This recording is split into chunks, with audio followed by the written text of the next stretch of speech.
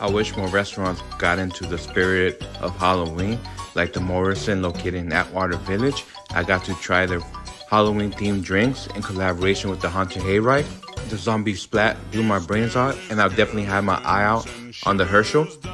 If you know anything about Morrison, they are number one on Yelp for happy hour, and they are also known for their delicious burgers. I highly recommend the spicy grilled aioli chicken sandwich and the one burger. And off their happy hour menu, you can't go wrong with their buffalo wings, which were nice and chunky and excellent for dipping. And don't forget about their cheesy mac and cheese, which was really crusty on the outside and nice, warm, and gooey on the inside. And that shrimp tempura was on point. But I can't stress this enough. If you're really gonna go down here, make sure to order the best thing that you will try in your life, and that is their amazing bread pudding. I am typically not a dessert guy, but I will definitely go back just for that.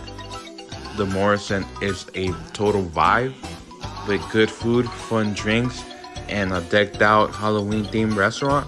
So if you made it through the end of the video, don't forget to like, follow, and comment below.